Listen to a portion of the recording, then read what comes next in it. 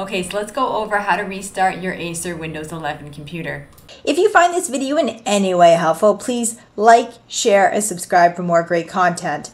So first thing we're going to do is you're going to take that mouse and you're going to move over down to those four squares down here in the corner. And where it says start, see how it says start, you're going to go ahead and click on that button. This menu will open up and then you're going to navigate over to that power symbol.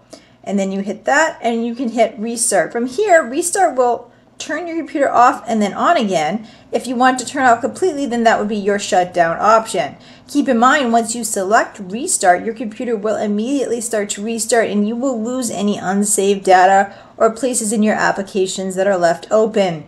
Uh, but anyway, if you have any questions, feel free to leave them down below. And from one egghead to another egghead, this is Liz signing out.